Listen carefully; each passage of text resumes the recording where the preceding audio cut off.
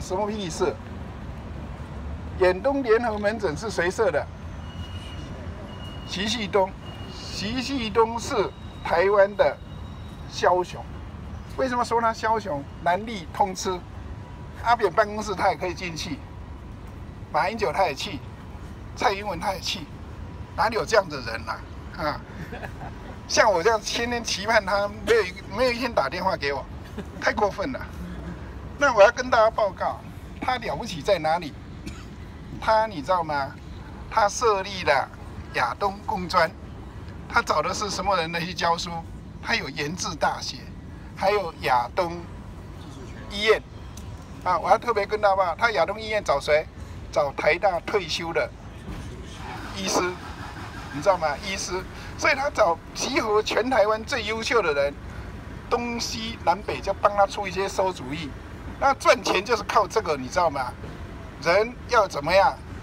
脑筋要用脑筋赚钱啊！所以我要跟大家报告，我们每一个人，反正跟我走古迹人，我就希望你要提升你的价值，不要随便，不要轻易的被怎么样被社会淘汰。